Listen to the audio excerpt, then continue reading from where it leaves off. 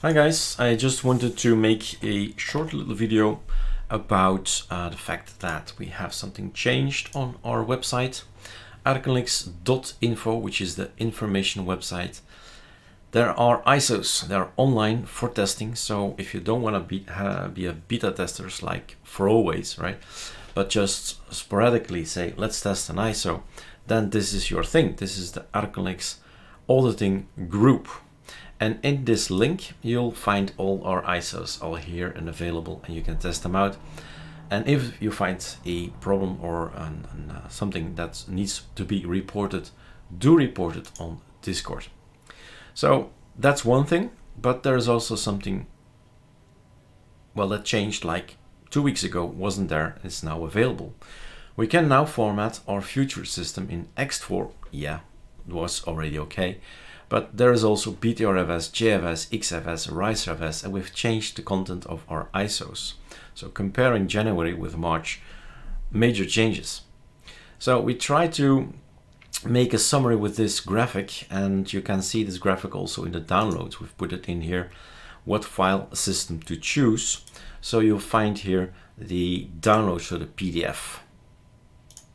The thing is, we have different possibilities. When we are launching our welcome app, you have this button that says Calamares tool and you can change to ext4. Well, ext4 is the standard, so if you don't do anything, it's just ext4. And um, you can have two systems, an old system, which is the BIOS version, and the UEFI, which is the newer systems. So that's one and two divisions. But then there's also the no swap, NS is no swap, it says up here in the legend. And the E is an, an encrypted or not encrypted, right? So always two versions, the not encrypted and the encrypted version. And as you see, everything is quite green in ext4. The same with XFS, XFS or JFS or ReiserFS.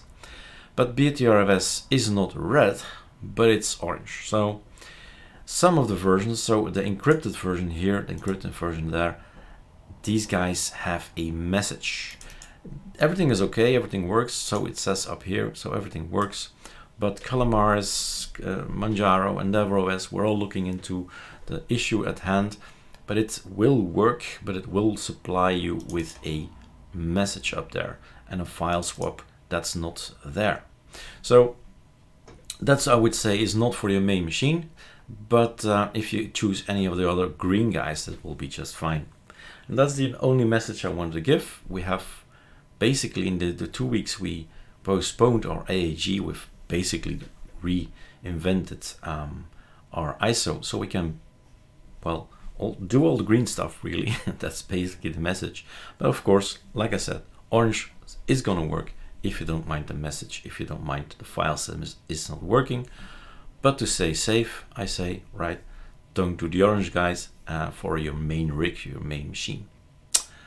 All right, have fun testing them out. They're all on there and um, they're here at this point in time. So belnet.be, ArcoLinux AAG, it's all copied over from Seedhost. So go and have a download and have a look and let us know if it's working. All right, cheers.